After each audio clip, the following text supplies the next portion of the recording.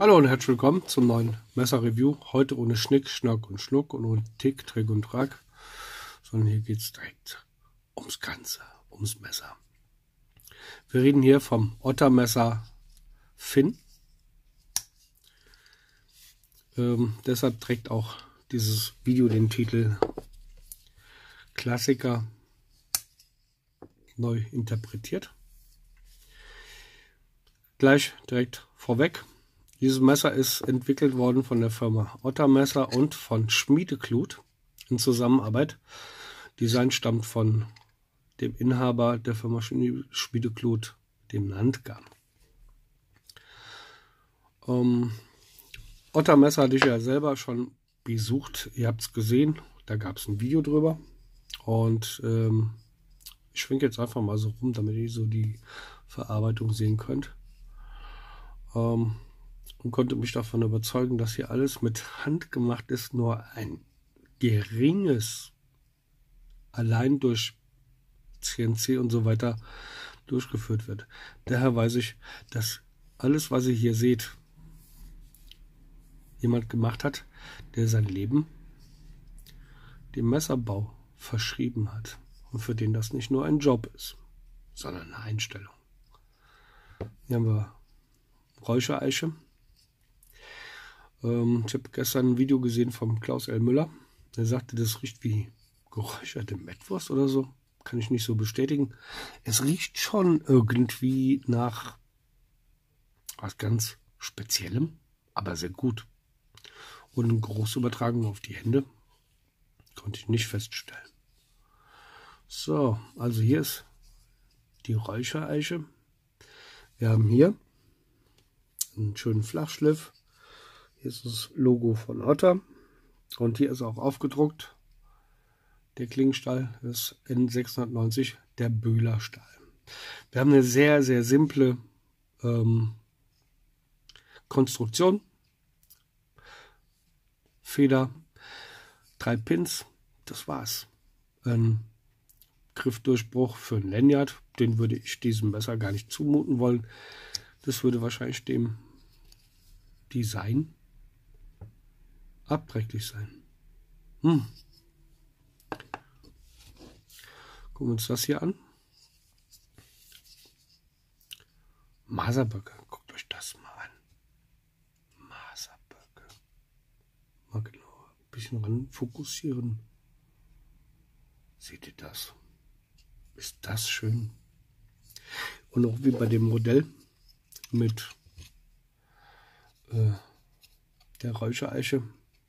Ich gehe mal hier über die Pins drüber, über den Griff und spüre überhaupt keine. Dass das nicht uneben wäre. Jetzt gehen wir mal hier hinten über den äh, über die Feder. Nichts. Es ist alles plan gearbeitet. Ich sehe hier 0, wirklich 0,0 Spaltmaße.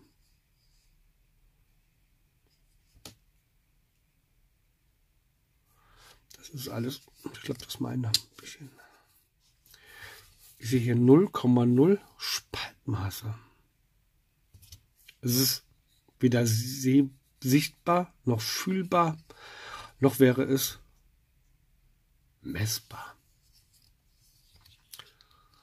So, über Stahl und Griffbeschalung haben wir schon gesprochen. Und dann kommen wir mal dazu, warum mich dieses Messer so fasziniert und warum ich das wirklich schon seit, seit ich es habe, warum ich das liebe. Zum einen ist es handmade in Germany. Maschineneinsatz ist klar, schleifen und so weiter, polieren und so weiter. Aber an diesen Maschinen sitzen Menschen, die nicht die Maschinen bedienen, sondern diese benutzen um dieses Messer herzustellen. Also wenn du, wenn du dir dieses Messer kaufst, hat dieses Messer ein Mensch gebaut und nicht eine Maschine produziert, und da stand irgendwer an der CNC-Maschine und hat ähm, nur die Daten angegeben oder den Prozess überwacht. Das ist alles handmade in Germany mit Einsatz modernster Technik.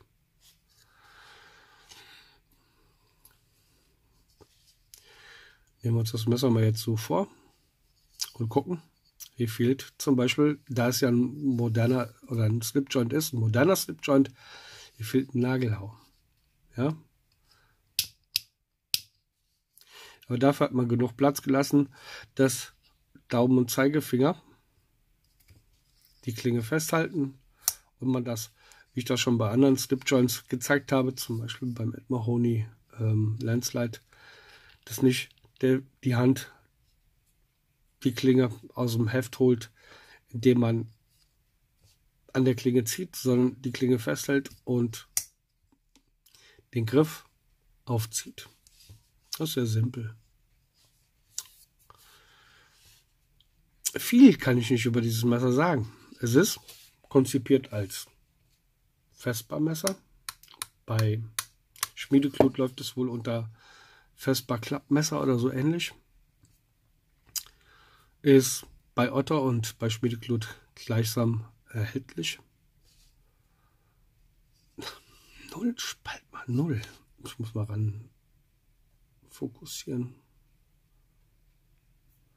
Null Spaltmaße. Alles symmetrisch.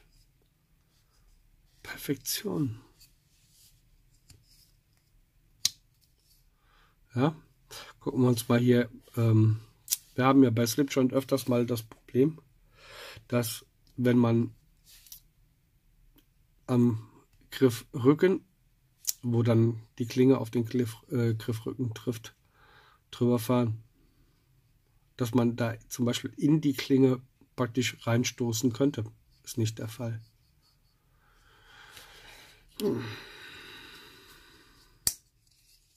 Kein Problem. Bei dem hier? Kein Problem. Null.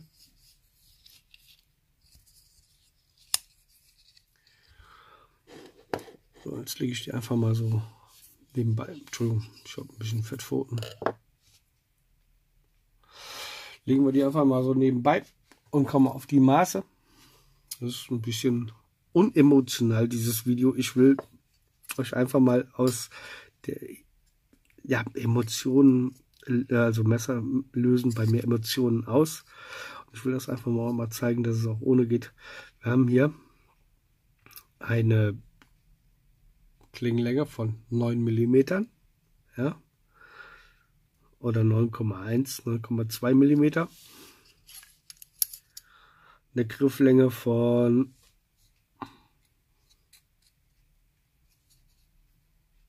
elf Zentimeter.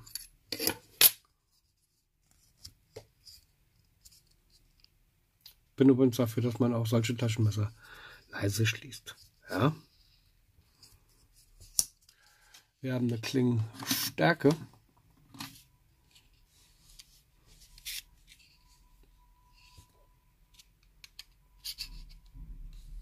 von 1,87, 1,88. Variiert ein bisschen. Griffstärke liegen wir bei 13 Millimetern. Und wenn wir schon bei Maßen sind, nehmen wir mal die Küchenwaage zum Einsatz.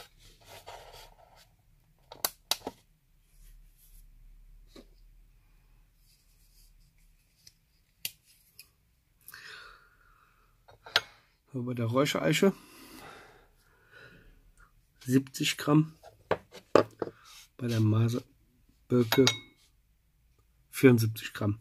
Das liegt am Werkstoff, da können wir nicht drüber meckern und mosern. Das ergibt sich daraus, dass ähm, beide eine gewisse ähm, Dichte, Differenz haben äh, Feuchtigkeitsdifferenz haben. Wir haben hier übrigens ähm, stabilisierte ähm, Maserbirke. Mein Gott, Herr Brehm, wie können Sie denn so unemotional über Messer reden? Sage ich euch. Das ist eigentlich jetzt schon ein Klassiker. Eigentlich. Aber dem voraustretend waren viele klassische Solinger Taschenmesser. Und das ist ein Klassiker neu interpretiert. Ein Gentleman-Taschenmesser. Bildschön. Einfach gehalten. Nach dem KISS-Prinzip. Keep it simple, stupid. Eins.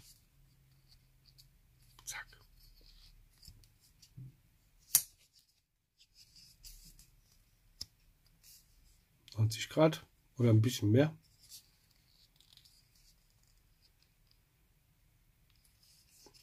Leise Klinge ähm, lebt länger. Slip Joint, Paragraph 42a konform. Eine schöne Geschenkidee, wenn ihr einen Opa habt, der auf Solinger Taschenmesser steht. Guckt euch die Form an. Die habt ihr so noch nicht gesehen. Aber mit Sicherheit erinnert die euch an einiges. Der Opa hat mit Sicherheit ein Taschenmesser bei sich gehabt, das so oder so ähnlich ausgesehen hat. Ich finde es wunderschön in beiden Ausgaben, aber das ist mein Favorit. Und wenn ein Traditionsbetrieb wie Ottermesser unter der Leitung vom Frank Rommel sich zusammentut mit einer modernen Firma wie Schmiedeklut und der Nantka von Schmiedeklut so ein Messer entwirft, da kann nur was Wunderschönes bei rauskommen. Wirklich wunderbare Arbeit. Machen. Äh, okay. Guck mal nochmal. Haben wir hier Verarbeitungsmängel? Ich sehe keine.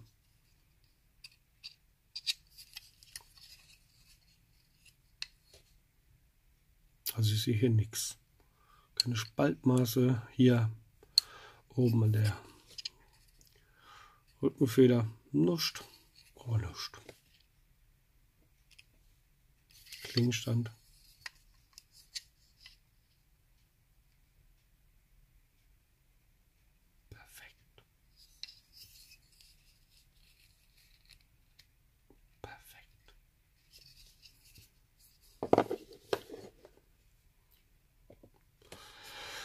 So, mein Review heute mal etwas sachlicher, aber trotzdem ein für mich emotionales Messer.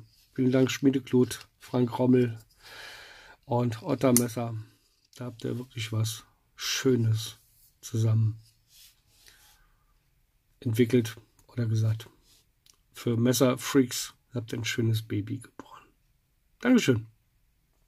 So, diese beiden Messer, die werden heute noch verpackt und zurückgeschickt an die Firma Ottermesser. Der Frank Rommel hat, war so freundlich, ähm, mir die zur Verfügung zu stellen. Das sind nicht meine, obwohl ich würde das hier würde ich so gerne behalten.